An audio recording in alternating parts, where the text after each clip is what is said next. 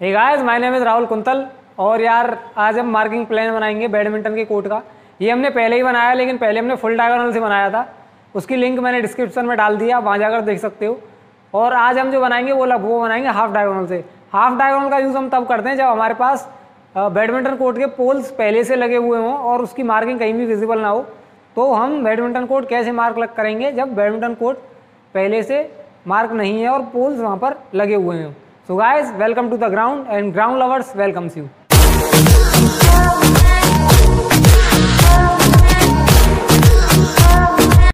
ground mark करने से पहले हम उसकी मेज़रमेंट के बारे में जान लेते हैं कि उसकी मेज़रमेंट क्या होगी।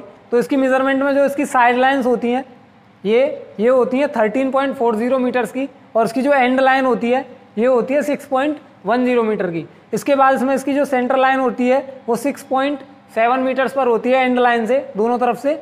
और इसकी, इस बात जो इसमें जो शॉर्ट सर्विस लाइन होती है, ये सेंट्रल लाइन से 1.98 मीटर की दूरी पर होती है। इसके बाद इसमें सेंट्रल सर्विस लाइन होती है, जो कि बैक लाइन के जस्ट सेंटर मतलब 3.05 मीटर्स पर होती है, किसी भी एक साइड लाइन से। इसके बाद इसमें लॉबीज होती हैं साइड लॉबी और बैक लॉबी साइड लॉबी की जो मेज़रमेंट होती है, वो 46 सेंटीमीटर्स होती है। और बैक लॉबी जो होती है वो 76 सेंटीमीटर्स की होती है। अब हम इसकी मार्किंग करते हैं कि इसकी मार्किंग कैसे करेंगे जब हमारे पास पोल्स पहले से लगे हुए हों तो। सबसे पहले हम जान लेते हैं कि पोल्स के बीच की दूरी क्या होती है। तो जो पोल्स के बीच की दूरी होती है वो ये साइड लाइन्स पर लगे हुए होते हैं बाहर। तो इनकी जो बीच की दूरी होगी वो 6.10 मीटर्स की होगी, जो इसकी बैक लाइन होती है। तो सबसे पहले सपोज़ ये हमारे पास दो पोल्स लगे हुए हैं। और इनके बीच की दूरी है 6.10 मीटर्स तो अब हमें यहाँ पर साइड लाइन्स बनाने के लिए पाइथागोरस थ्योरम यूज़ करनी होगी। और जो पाइथागोरस थ्योरम होगी, वो इस तरह यूज़ होगी कि सपोज़ ये कोई राइट एंगल ट्रेंगल है, जिसकी लंबाई, जिसका बेस होगा 6.10 मीटर्स और जिसकी साइड लाइन होगी परपेंडिकुलर जो होगा वो 6.7 मीटर्स अब हमें फाइंड करना है इसका डायगोनल तो हमें ये चीज़ फाइंड करनी है। पाइथागोरस थ्योरम से जो इसका डायगोनल निकल के आएगा, वो आएगा 9.06 मीटर्स तो इसका ये डायगोनल जो निकल के आएगा, वो आएगा 9.06 मीटर्स तो अब हमें क्या करना है? हमें इस वाले पॉइंट से एक आर्क लेनी है। इस वाले पॉइंट के सामने की तरफ़ 9.06 मीटर्स की। तो यहाँ से सपोज़ हमने ये आर्क लिया।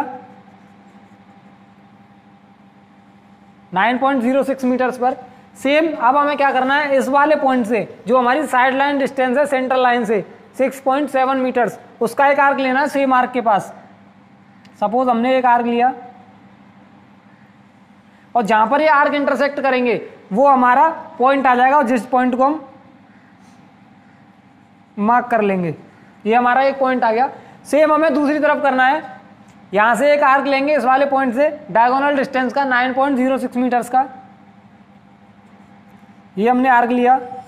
सेम हमें इस वाले से साइड लाइन डिस्टेंस पे आर्क लेना है 6.7 मीटर्स ये हमने आर्क लिया और आर्क इंटरसेक्शन पर पॉइंट मार्क कर लेंगे।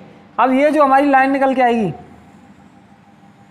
ये इसके जस्ट पैरेलल निकल के आएगी, ये लाइन तो हम इस वाली लाइन साइड लाइंस को भी यहाँ पर मार्क कर लेंगे।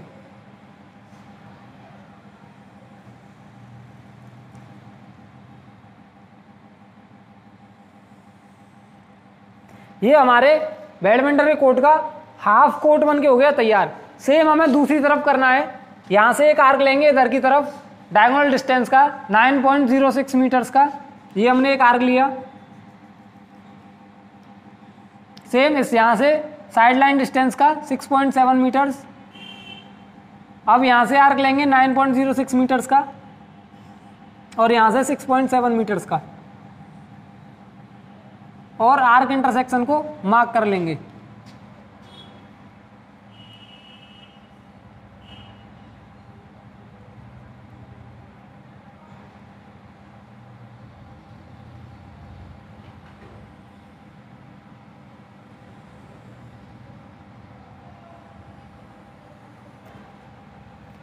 ये हमारे बैडमिंटन के कोर्ट की कोर्ट का रेक्टेंगल बन के हो गया तैयार। अब हम करेंगे इसकी इनर मार्किंग्स तो इसकी इनर मार्किंग में हमारे पास सेंटर लाइन पहले से है। अब हमें शॉर्ट सर्विस लाइन मार्क करनी है। तो जो शॉर्ट सर्विस लाइन का मेज़रमेंट है, वो है सेंटर लाइन से 1.98 मीटर की दूरी पर। तो हम क्या करेंगे? सेंटर लाइन से 1.98 मीटर इधर 1.98 मीटर इधर। दो पॉइंट ले लेंगे। सेम पॉइंट दूसरी लाइन पर हमें लेने 1.98 मीटर इधर और 1.98 मीटर इधर सेंटर लाइन से। और इन दोनों पॉइंट्स को फिर मार्क कर लेना है। ये हमारी शॉर्ट सर्विस लाइन बन के हो गई तैयार। अब हम क्या करेंगे? अब हम इसमें बैक लॉबीज मार्क करेंगे, जो हमारी बैक लॉबीज हैं। इसकी जो मेज़रमेंट है, इसकी है 76 सेंटीमीटर्स तो हम एंड लाइन से अंदर की तरफ़ 76 सेंटीमीटर पर पॉइंट ले लेंगे। सेम हमें इधर ले लेना है 76 सेंटीमीटर पर। और फिर इन्हें बना, मिला देना है। सेम हमें दूसरी तरफ़ करना है। एंड लाइन से 76 सेंटीमीटर पर अंदर की तरफ़। सेम इधर 76 सेंटीमीटर और फिर इन्हें मिला देना है। ये हमारी बैक लॉबी बन के हो गई तैयार। अब हमें यहाँ पर साइड लॉबीज मार्क करनी है। तो साइड लॉबीज के लिए साइड लाइन से 46 मीटर अंदर 46 मीटर अंदर पॉइंट ले लेना है सेम इधर से 46 मीटर सेंटीमीटर इधर सेम इधर 46 सेंटीमीटर और सेम इधर 46 सेंटीमीटर और फिर इन पॉइंट्स को मिला देना है।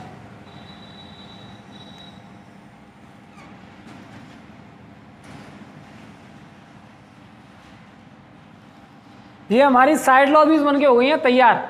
अब हमें इसमें सेंटर सर्विस लाइन मार्क करनी है। तो सेंटर सर्विस लाइन के लिए हमें ये जो हमारी एंड लाइन है, जिसकी पूरी दूरी है 6.10 मीटर्स अब हमें इसका सेंटर पॉइंट लेना है। तो ये सपोज़ 3.505 मीटर्स यहाँ कहीं आया। सेम पेस वाली लाइन पर 3.05 मीटर्स दो पॉइंट ले लेना है। और पूरे पर मीटर टेप रखकर हमें इसे मार्क करना है। और इसमें ध्यान रखने वाली बात यह है कि जो सेंटर सर्विस लाइन होती है वो शॉर्ट सर्विस लाइन के आगे मार्क नहीं होती है। ये वाला एरिया खाली रहता है। ये केवल पीछे के कोर्ट में मार्क होगी पूरी। तो ये था हमारे बैडमिंटन कोर्ट का मार्किंग प्लान हाफ़ डायगोनल से जब पोल्स हमारे पास पहले से लगे हुए हों और हमें मार, मार्किंग की पता ना हो तो इस तरह से हम उसे मार्क कर सकते हैं। इसकी वीडियो जल्दी मैं ग्राउंड पर मार्क करके दिखाऊँगा। अगर आपको वीडियो पसंद आई हो तो वीडियो को लाइक करना शेयर करना और अगर आपके पास कोई सुझाव हो तो उसे कमेंट करके ज़रूर बताना।